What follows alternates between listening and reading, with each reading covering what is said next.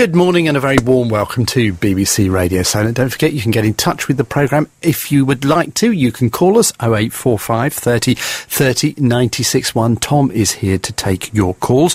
Or, of course, you can text me 81333, pops up in the screen in front of me. Begin your text with the word Solent, please. Or, of course, you can email to tim.daykin at bbc.co.uk. Now, I couldn't help but notice yesterday that there were fewer people in the town and around the shops near where I live. And I suspect it's because we've reached that time of the year when the Christmas expenditure on the credit card is literally coming home to roost. And research by the Post Office says that 12 million people will be running up debts on their credit cards in the months to come.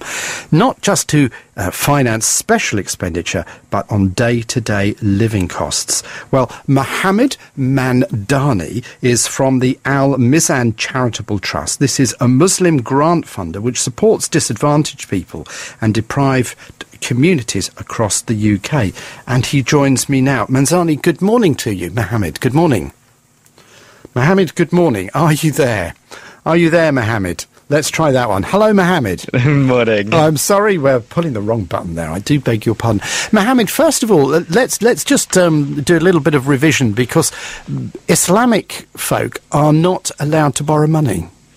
Uh, according to Muslim tradition, um, we are not very encouraging of uh, paying large amounts of interest. So uh, traditionally, Muslim communities feel uncomfortable um, either sort of you know offering or taking loans um, that uh, you know include interest. And certainly from our point of view as a as a Muslim grant funder, um, apart from grants, we also do offer loans, but they are very much interest free. So the key thing then is is not that um, for Muslims it's a question of not borrowing money; it's the interest element, the yeah. usury, as it yeah. were. That's yeah. where the problem lies. Yeah.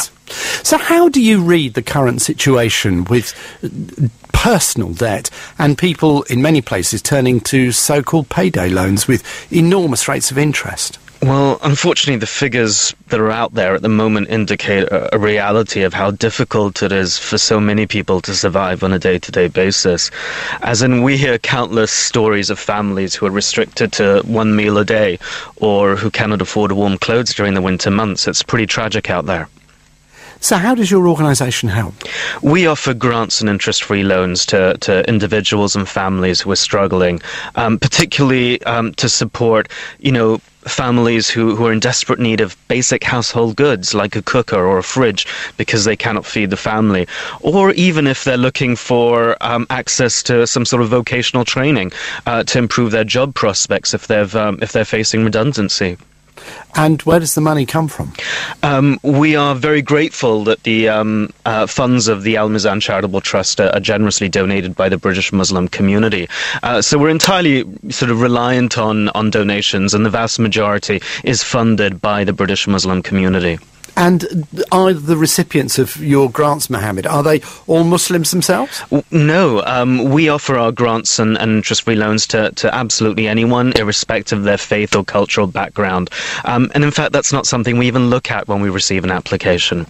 Our focus is very much about helping those who are in need.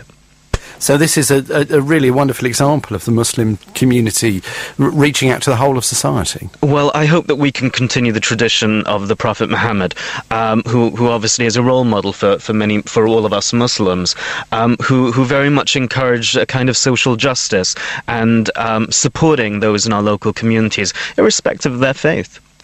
If people would like to find out more, do you have a website? Where's the information? Yeah, um, you can log on to our website, which is www.almizantrust.org.uk, and you can find out more information. And presumably, if you just Google or go to any search engine and type in Al Mizan, which is A L M I Z N, two separate words, it'll pop up. Yes, it will.